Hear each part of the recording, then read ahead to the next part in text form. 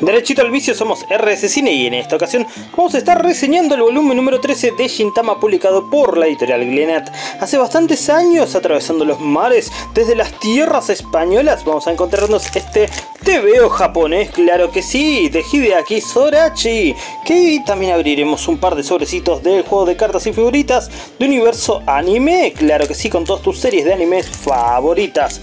Pero este video no hubiese sido traído a ustedes si no fuese por nuestros auspiciantes de siempre la patria y la nación, claro que sí, representado en cada una de las bolsitas de supermercados que puedes encontrar en diferentes mercadillos del país, mientras todavía existen. Así que vayámonos derechito al vicio. Como ustedes sabrán, la serie de Shintama es una serie que, en cierto modo, en ciertos momentos, en ciertos capítulos, parodian a otras series, pero tienen tramas que son episódicas, que se cierran en esos mismos eh, capítulos, y tienen otras tramas que son argumentales, que van con arcos, que representan un poquito esta guerra entre los samuráis del antiguo Japón y los extraterrestres que invadieron todo el país. Es así como en muchos de sus tomos vamos a tener estos arcos de acción o estos episodios totalmente randoms que fueron animados por diferentes casas de animaciones japonesas a lo largo de estos años.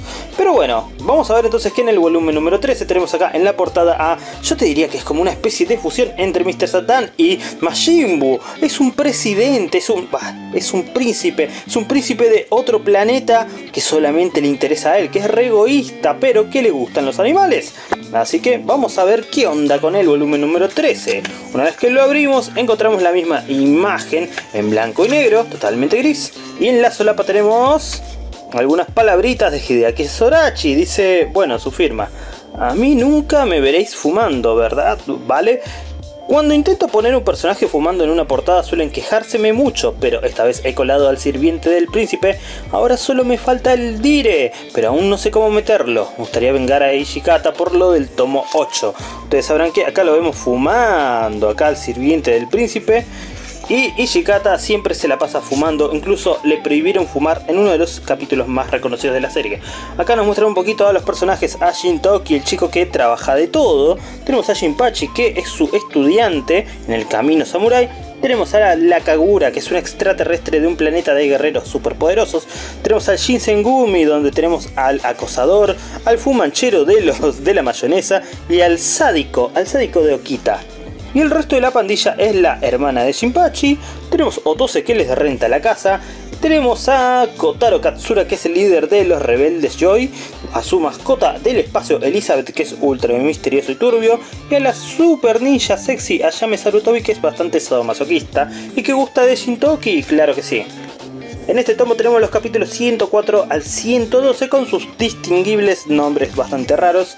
Y en el 104 vemos que Shitoki es despertado en su camita por una viejarda que es su mamá. No, la mamá de Kagura tampoco, pero empieza a actuar como si fuese la mamá de todos. Vamos a ver entonces que esta vieja, la Hachiro, vamos a ver que se hace llamar la mamá de todos, les contrata para que vayan a buscar a su hijito, al pobrecito Hachiro. Su hijo que se fue a la ciudad para estudiar, para tener un buen empleo, para pagarle las cositas a su vieja, no ha vuelto a hablar con ella después de varios años. Es así que Shintoki se va a buscarlo en burdeles en diferentes lugares y dice, ¿el pelado se habrá cambiado el pelo? ¿Se habrá hecho una cirugía en la cara? ¿Se habrá puesto afro encima? Es así como termina dibujando por la foto completa. Se encuentra un sujeto que es igual, igual al Hachiro. Entonces lo siguen, se pelean en la calle con unas prostitutas y resulta que, sí, que este Hachiro, este pibe con afro, trabaja en uno de esos lugares donde los señoritos sirven a las mujeres por un poquito de dinero a cambio. Bastante bien. Un servicio de compañías, de bebidas, claro que sí. Entonces acá vamos a ver que el dueño, el dueño de este lugar bastante top, lleno de waifulines de chabones super domados, los va a invitar a tomarse unas cervecitas y una gaseosita para la pequeña Kagura. Kagura que ya está ahí siendo, me mata acá siempre las anécdotas de, del autor, que acá por ejemplo habla un poquito sobre cómo llegaron al tomo número 13, cómo se lo ha acusado de plagio por hacer las parodias de otras series y cosas así por el estilo. Kagura empieza a pedir gaseosita con de todo, quiere Pepsi, quiere Coca, quiere todo. La vieja dice, ah, ¿por qué no comemos estos, estas verduras encurtidas? Que para eso no es nada refinado, pero es una comida de campo bastante deliciosa. ¿Y qué sucede? Aparece el dueño, sí, señores, aparece el dueño de otro burdel que quiere vender cocaína, que quiere vender droguitas, droguitas locas en este burdel, en este lugar de, de compañía. Pero el dueño no lo quiere permitir, así que luego se van a cagar a bifes. Pero sin embargo, Shintoki y los demás van a intervenir. Y acá Shintoki utiliza una de sus series, una de sus frases más icónicas, que es Let's do it o Just do it. Se la pasa repitiendo en el anime eso en varios capítulos. Pero bueno, vamos a ver que todos se hacen ahí, los galanes. Los galanes para servirlo, para sacárselo del camino y para que no joda más. Sin embargo, en medio de la pelea, ¿se van a llevar a Hachiro? No, se van a llevar a la vieja. Se van a llevar a la vieja a su cuartel. Entonces Shintoki y los demás van a tener que ir a rescatarla y descubrimos que el rubiazo que estaba acá, que era el dueño de todos, era ese realmente el hijo de esta vieja, pero que no le puede decir todo lo que ha cambiado y todo lo que ha perdido a lo largo de este camino. Y ustedes se preguntarán, ¿quién es el tipo del afro entonces? No, no es un tipo, y no es del afro, es una tipa y es su mejor amigo. Vamos a ver entonces que pelean, pelean con de todo para poder rescatar a la vieja y la vieja se da cuenta de que el rubio siempre fue su hijo, así que le deja un par de encurtidos para que coma tranquilito mientras se va para su casa. ¿Pero qué sucederá en el siguiente capítulo? Vamos a ver que Shintoki pescó un resfriado. Mientras Kagura le come ahí el arrocito y todo, él se recupera en su cama todo tapado y Kagura lo reemplaza. Lo reemplaza en una misión donde acá hay una señora que piensa que su marido le mete los cuernos y van a ir a buscarlos. Se suben a la motoneta, se suben a la motoneta de Shintoki y lo rompen con de todo. Es buenísimo porque esto sucede en el anime un par de veces. Pero bueno, le rompen, van a buscarlo y el ninja, el marido de esta clienta, es el jefe de Sarutobi, de la ninja sádica, de la ninja que ama a Shintoki. Pero bueno, Kagura le dice, eh, jeje, yo soy el Shintoki, pero no es el Shintoki.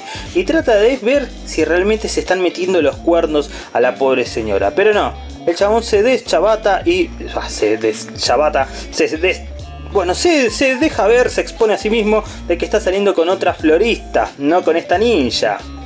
Luego de esto van directamente para la casa para ver qué van a hacer, cuál es el arreglo que van a hacer y el ninja le quiere demostrar que en realidad no le está metiendo los cuernos con una florista, sino que le ha comprado flores para hacerle un regalo que lamentablemente se fue, se quedó totalmente destruido por culpa de la intervención de la nueva Shintoki. Es así que todos terminan resfriados, sin un mango y totalmente, totalmente lastimados. ¿Vamos al rincón de las preguntas? Claro que no. ¿Qué sucede en el siguiente capítulo? Están viendo acá en la televisión el programa de Edo. Donde Katsura, el líder de los rebeldes Joy que está siendo perseguido por el Shinsengumi, es perseguido, claro que sí, pero le da una notita a la notera de este, de este programa diario de noticias. Donde le va a mostrar cómo su vida, cómo es el maestro de los disfraces, cómo lo persiguen para comer, cómo no lo dejan en paz, cómo pelea encima de los tejados, todo esto y más mientras le muestra cómo, cómo come ramen como si fuese un día normal y cómo se mete con el resto del grupo contra los del Shinstengumi. Sin embargo, al final de todo este viaje termina explotando todo, termina escapando y termina dejándola lisiada a la pobre notera que ahora lo odia completamente y lo va a volver el enemigo número uno de toda la ciudad. Sin embargo, no lo van a atrapar, no se preocupen.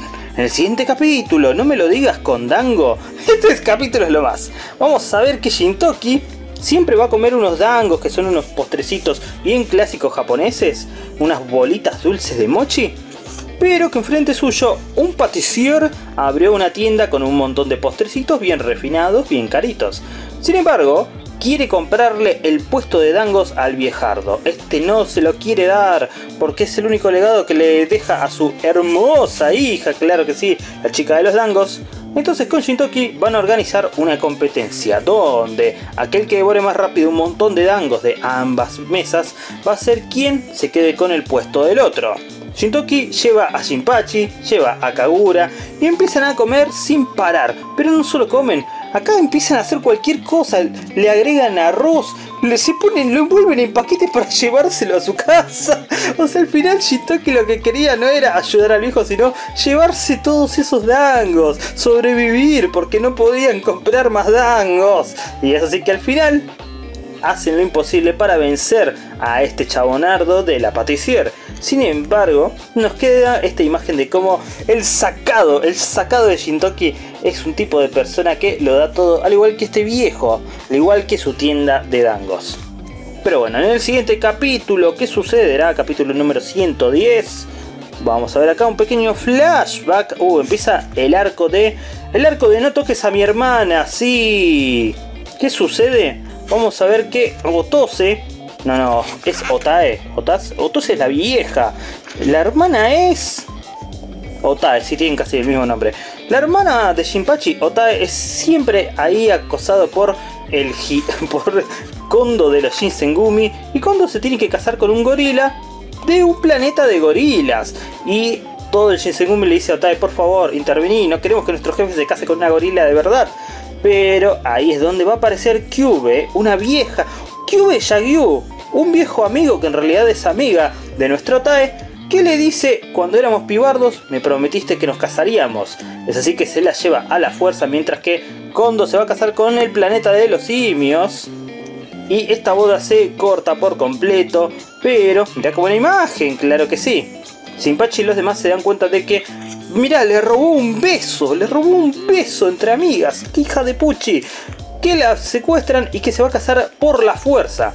Entonces van a intervenir en la casa de los Shagyu, que son unos espadachines bien prestigiosos de esta zona, de estos samuráis, y van a enfrentarse a, primero, a ella, pero van a tener que atravesar a los cuatro, a los cuatro devas, a los cuatro líderes de su clan, que van a tener nombres y apellidos con diferentes kanjis, a cada uno en fuerzas con lo del Shinsengumi en su día feriado, para que oficialmente no sea el Shinsengumi quienes los ataquen, para rescatar a Otae.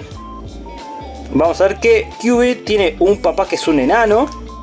Un abuelo que es un chatarrero, pero también es un enano.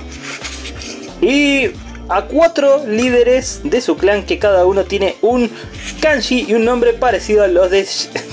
Sí, sí, sí. A los de Chigo 100%. Ya vamos a echarles un vistazo. Acá están los cuatro, los cuatro samuráis que son Nishino, Tojo, Kitaoji y Minamito. Igual que Chigo 100%. Pero en este tomo recién se van a ver las caras y vamos a tener que esperar el siguiente para ver cómo empieza el combate para rescatar a la pequeña Otae. Al final vemos entonces acá una lista enorme de mangas que Lenat estaba publicando en España en ese momento, junto con una promoción de The Prince of Tennis, algo de Crimson Heroes, de Greyman y nada más.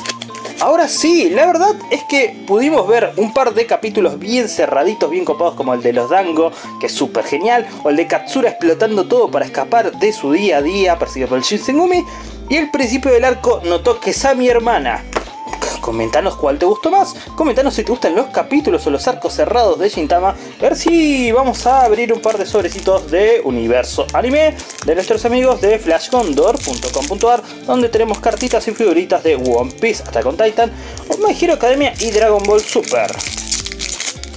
Vamos a ver que la primera carta que nos encontramos es la del pibardo de Demon Slayer, uno de los pilares favoritos de la saga, que es la carta número 57, seguido de la número 94, que es un es un Tenshin Han haciendo cosplay del papá de Gohan.